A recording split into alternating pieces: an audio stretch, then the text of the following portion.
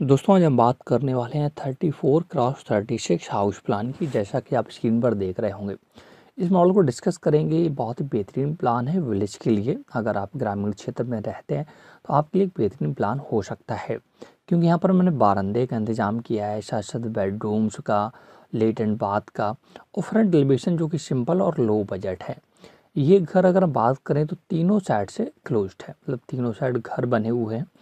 और आगे से आपका जो घर है, वो आपका ओपन है और बेहतरीन से रेलिंग जो कि बहुत ही सिंपल सी और साथ साथ बारंदे के साथ बहुत ही बेहतरीन सा मॉडल मैंने क्रिएट किया है। हमारे एक सब्सक्राइबर थे, वो बोल रहे थे, सर, हमें लो बजट में एक बेहतरीन सा डिज़ाइन गाँव के लिए दीजिएगा, लगभग साढ़े नौ सौ स्क्वायर फीट एरिया में। तो उन्हीं के अकॉर्डिंग ये साढ़े नौ सौ अप्रॉक्स में एरिया है और उनके कहने पर मॉडल को डिज़ाइन किया जो कि बेहतरीन ग्रामीण क्षेत्र के लिए हो सकता है। तो मैं इसे जूम करके दिखाना चाहता हूँ। ये पिलर वगैरह आप देखिएगा, जो इसका स्टाइल है वगैरह, जो डिज़ाइन है वगैरह, वो आप देख सकते हैं। यहाँ रेलिंग का इसका डिज़ाइन है, जो बहुत ही सिंपल वगैरह है सब कुछ।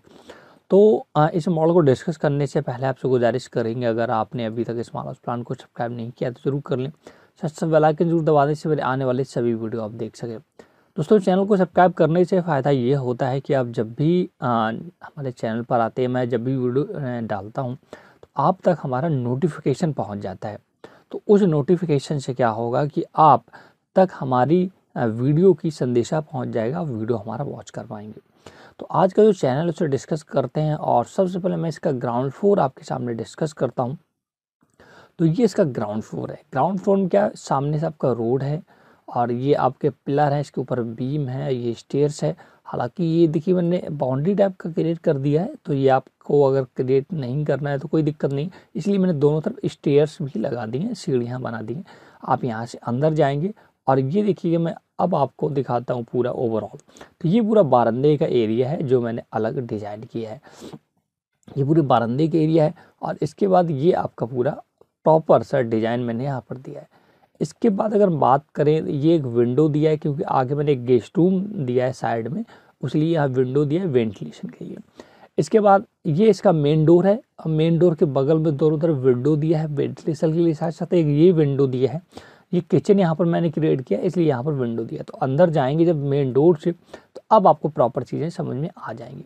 ये गेस्ट रूम था, जो कि मैंने विंडो आगे से दिया उसके लिए, और साथ में एक आगे और विंडो दिया है। और इसको मैंने बाहर से एंट्री नहीं दी है। अगर आप बाहर से डोर देना चाहते हैं तो आप इस विंडो की जगह एक डोर लगवा लें, जिससे आप बाहर से गेस्ट रूम एंट्री कर पाए। इसके बाद मेन डोर से अंदर जाते तो आप हॉल में आ जाते एक बड़ा सा हॉल है। ग्रामीण क्षेत्र में रूम की बात करें या बेडरूम की बात करें थोड़े बड़े होना आवश्यक है, क्योंकि बहुत सारी यहाँ पर उपयोगी चीज़ें रखनी पड़ती हैं। तो आप आ जाते हैं बड़े से एक हॉल में इसके बाद दोनों कॉर्नर पर देखिए दो दो, एक एक बेडरूम मैंने क्रिएट किया लेफ़्ट हैंड कॉर्नर पर भी राइट हैंड कॉर्नर पर, दोनों तरफ़। इसके बाद बीच में जगह जो बचता है उस पर दो लेट हैंड बात क्रिएट किया एक नहीं क्यों घर बड़ा है, इसलिए दो लेट हैंड बात मैंने यहाँ पर क्रिएट की दोनों के लिए अलग अलग डोर आपको देखने को मिल जाता है। इसके बाद देखिए, इधर भी डोर और विंडो डोर है विंडो दी है।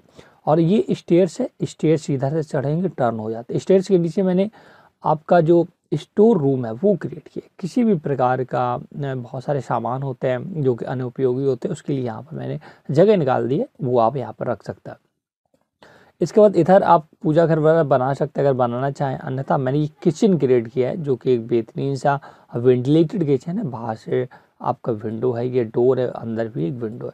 तो ये आपका किचन एरिया है। तो ओवरऑल अगर बात करें चौंतीस बाई बत्तीस फिट में सॉरी छत्तीस फिट में आपको तीन बेडरूम एक बड़ा सा बारंदा हॉल किचन दो latrine bath stairs stair room सारी व्यवस्था आपको देखने को मिल जाती है, जो कि एक घर के लिए पर्याप्त है।